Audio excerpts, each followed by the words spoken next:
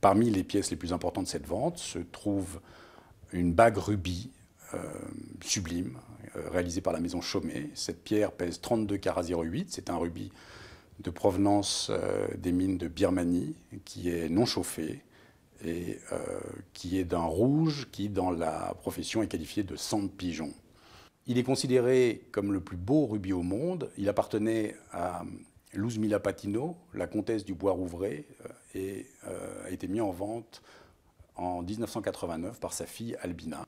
il s'était vendu à l'époque 4 600 000 dollars, ce qui représentait et représente toujours un record pour un rubis, euh, le record le plus élevé pour un rubis jamais vendu aux enchères.